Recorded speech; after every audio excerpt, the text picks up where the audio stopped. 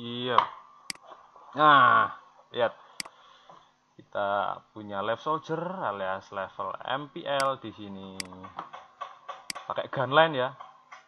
Uh, ini loh. Pakai gunline. Kruk.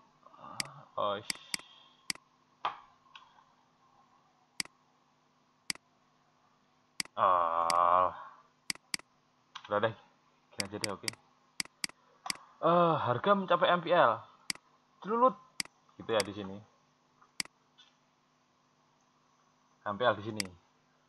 Lalu retrace. Sampai ke area flag limit yang ada di area ini. Uh, banyak yang mendambakan MPL ini akan uh, eh, MPL di sini entry di area ini TP di sini. Ya jangan harap karena di sini masih ada penghalang. Jadi akurasi boleh tapi ekspektasi harus di uh, disesuaikan oke okay.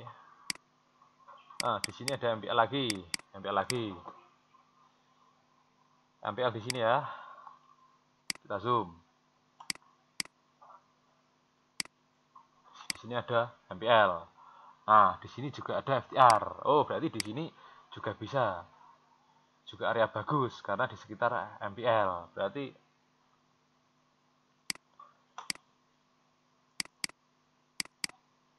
ini juga area yang bagus untuk entry gitu. Tapi kenapa harus oke okay, Anda pasang sell limit di sini langsung lalu Anda tinggal.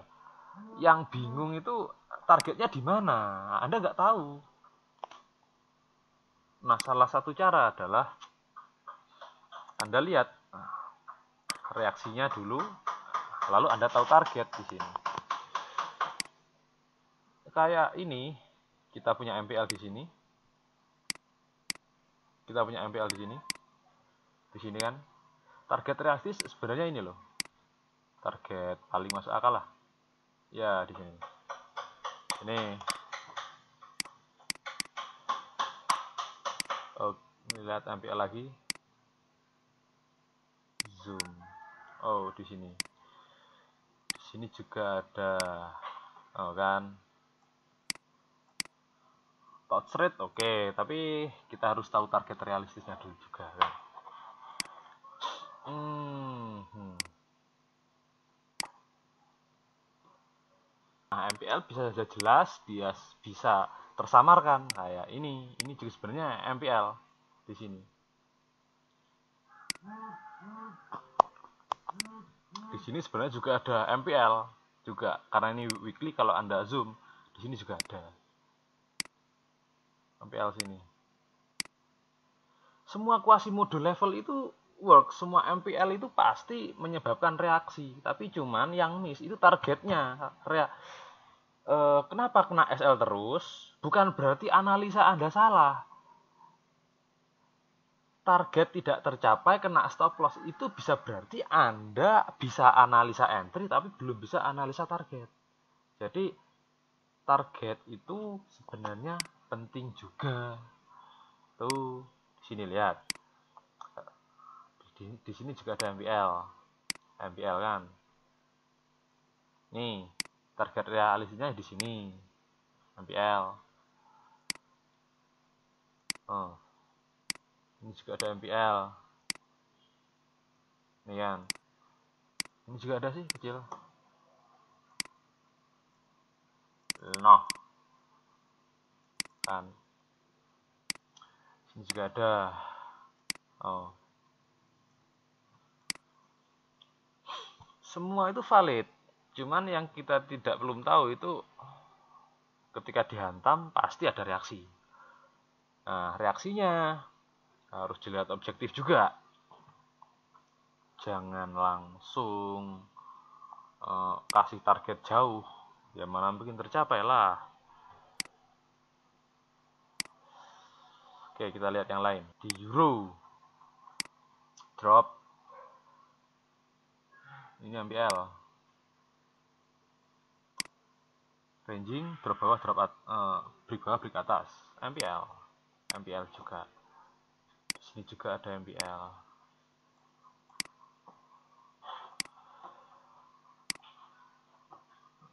hmm, hmm. ini ada MPL juga yang dulu itu. Ranging break bawah break atas. Uh, banyak ya nggak hanya break bawah break atas. Biasanya break atas break bawah break atas lagi break bawah lagi lalu drop. Itu MPL biasanya uh, semua MPL biasanya juga FTR ini juga ada MPL sebenarnya. Tapi kan targetnya harus kita hitung. MPL ini target realistisnya yang ini target paling masuk akal. Target ya gitu deh kan. Target yang enggak neko-neko gitu loh drop nah, di sini ada MPL hmm. Hmm hmm. Ada reaksi ketika ke sini tapi jangan harap jangan harap ke sini kita lihat dulu reaksinya. Apa historinya ketika di sini? Harga dari sini kan? Kalau anda langsung uh, limit di sini lalu anda tinggal tidur ya kan nggak tahu kalau di sini ada membuat flag limit kayak gini contohnya di sini ada flag limit gini Nah, Anda pasang target di sini. Contohnya, tanpa melihat yang ini. Ini kan Anda nggak tahu. Ya oke, okay, mungkin tereksekusi dan mencapai target. Tapi karena Anda targetnya di sini, ya uh, kurang kurang apa ya? Nah, kurang logik gitu targetnya. Target logik.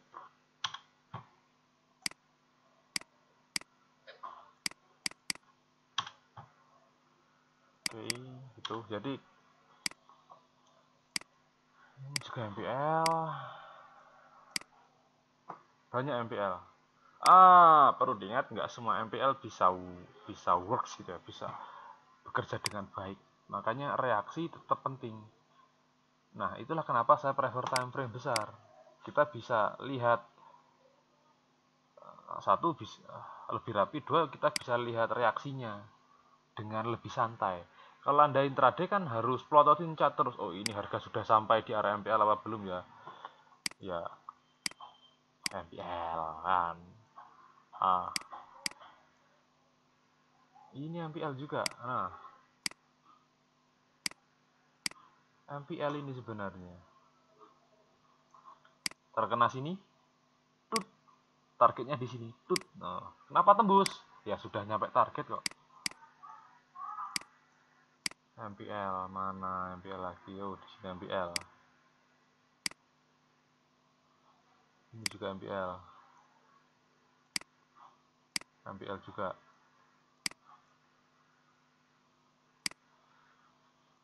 MPL juga. Oh MPL juga. Pasti ada. Tes tes tes tes tes. Hmm. jadi kalau anda melihat setup yang targetnya lebih kecil daripada risiko ya nggak usah diambil. Ya nggak usah diambil cari aja MPL yang benar-benar risk rewardnya itu menurut anda bagus. Kita nggak perlu tiap hari entry kok. Nggak perlu tiap hari entry. Anda boleh entry tiap hari tapi pakai demo aja. Anda entry-nya entry-nya dengan akun real itu ketika melihat setup yang cantik sekali. Kalau saya sih kayak gitu. Paling beautiful head oke okay, gitu deh ah MPL lagi Jadi harga akan memantul di mana manipulasi itu terjadi.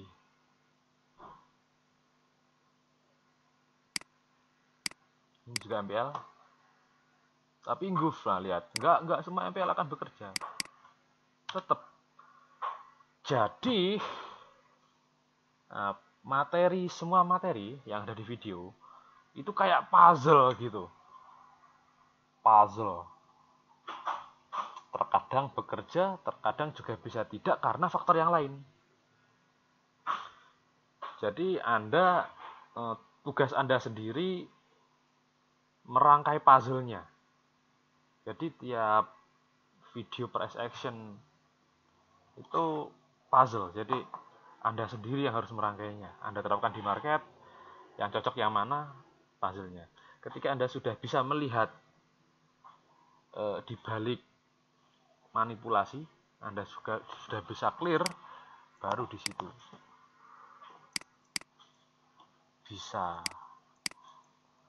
Kayak mata elang mungkin di sini mungkin di sini mungkin di sini.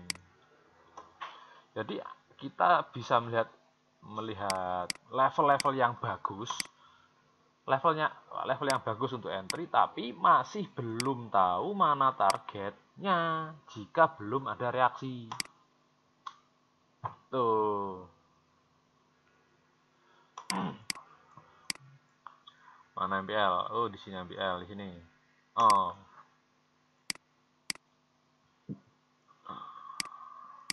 oh. Bereaksi tapi targetnya di sini.